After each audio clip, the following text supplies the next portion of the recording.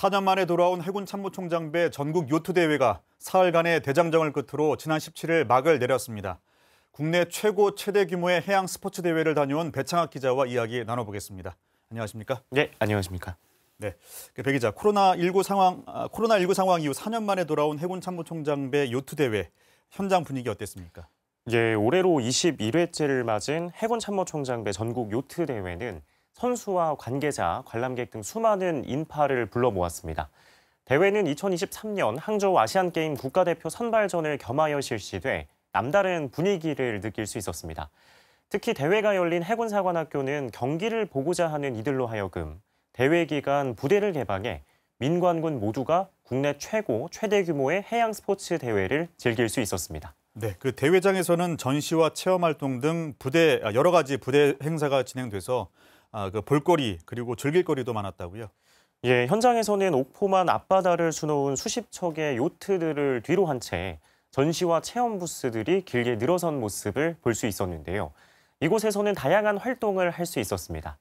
해군 사관생도 예식복을 입어보는 것은 물론 해군의 주요 시설과 함정을 배경으로 사진과 영상 촬영 등도 할 수 있었고 해군 최정예 특수부대죠. 해군 특수전 전단과 해난 구조전대 요원들의 개인 화기와 장구류 등도 착용해 볼 수 있었습니다.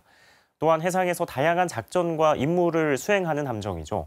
대형 수송함인 독도함과 또 군수 지원함인 소양함, 그리고 과거 적으로부터 국가와 국민을 지켜냈던 거북선까지 우리 해군의 미래와 현재 과거를 아우르는 전력들이 동시에 공개되어 방문객들의 눈길과 발길을 잡았습니다.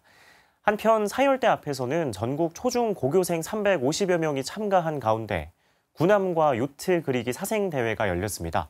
출품된 작품들은 심사위원들의 심사를 거쳐 입상자를 선발했고 입상자에게는 해군 참모총장과 또 해군 사관학교장 상장 등 부상을 수여했습니다. 네, 그 여러 가지 행사가 아, 다양한 행사가 준비가 됐었네요. 아, 이와 함께 그 모병관에서는 여러 방식으로 또 해군에 대한 홍보도 진행이 됐다고요. 예, 해군은 대회 중 지난달 새롭게 출시된 자체 메타버스 플랫폼이죠. 네이비 유니버스를 활용해서 모병을 위한 홍보를 이어갔습니다. 온라인으로만 공개됐던 플랫폼을 오프라인인 이 대회장에서 공개한 것인데요. VR을 통해 전국 권역별 해군 주요 부대를 둘러보며 부대별 장교와 또 부사관 모집 계획을 한눈에 살펴볼 수 있었습니다. 또한 해군 주요 함정의 승선해 가상의 적을 물리치는 등 시뮬레이션을 하며 일일 해군 장병이 되어 영해소 작전과 임무를 수행해보는 색다른 경험도 할 수 있었습니다.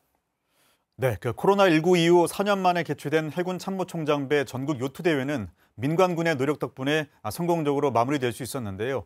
요트 경기와 다양한 무대 행사 모두를 즐길 수 있는 대회는 앞으로도 계속됩니다. 지금까지 배창학 기자와 함께 이야기 나눠봤습니다. 오늘 말씀 감사합니다. 예, 감사합니다.